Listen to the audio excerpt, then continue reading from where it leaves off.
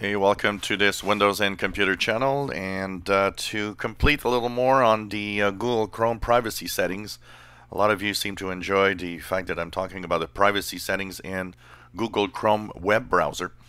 Just want to add a little something to it. If you are of course using a Gmail and are synced or are signed in your browser your Google browser with the Gmail there's a set of uh, privacy settings you should also take a look at. And all you have to do is go, of course, into your Google Chrome browser. On the upper right, you'll see three vertical dots. On these three vertical dots, you'll go into Settings. And here in Settings, you'll go, of course, in the hamburger menu on the upper left, go down to Advanced. One of the things you'll see into Advanced is in the Privacy and Security, Sync and Google Services at the top, you have a little arrow on the right side. And if you look at click that little arrow, gives you a few more stuff, a few more settings.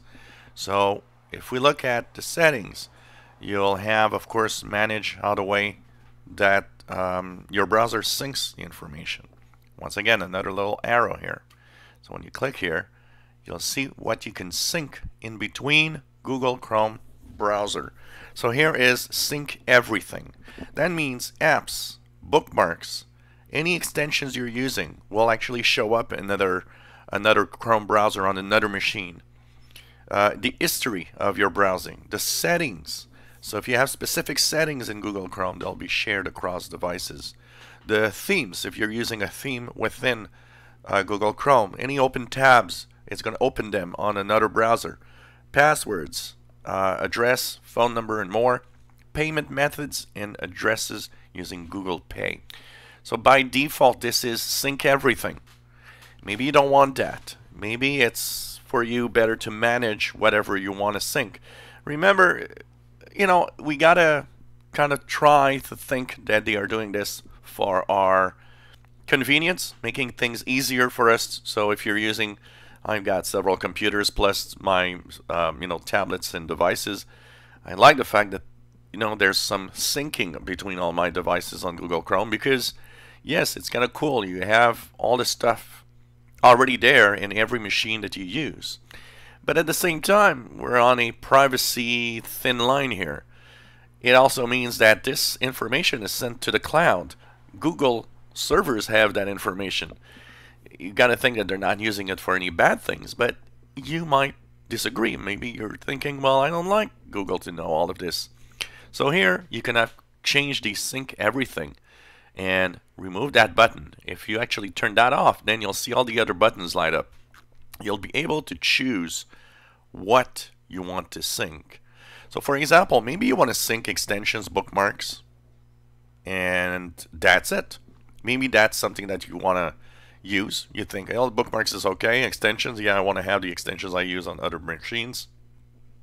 So you'll leave only those and just turn off all the rest, history, settings, and so on. It all depends on how convenient you want your experience to be.